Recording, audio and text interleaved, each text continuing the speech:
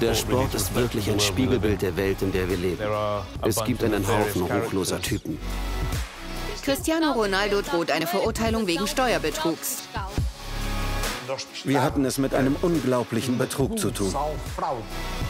Es war, als ob der Wolf of Wall Street in den Fußball einfällt. Wir reden hier nicht über Mickey Mouse es geht hier um echtes Geld. Hier ist Rui Pinto. Ich bin John, der Whistleblower von Football Leaks. Es waren mehr als 18 Millionen Dokumente. Er nahm sich alles, was er wollte, bis er verhaftet wurde.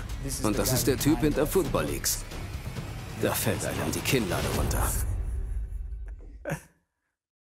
Dann explodierte die Angelegenheit förmlich.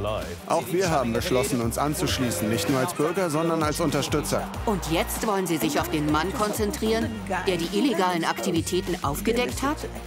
Das Schwerwiegendste, was ihm zur Last gelegt wird, ist der Erpressungsversuch. Er passt nicht zu der Geschichte, die Rui Pinto über sich selbst erzählt.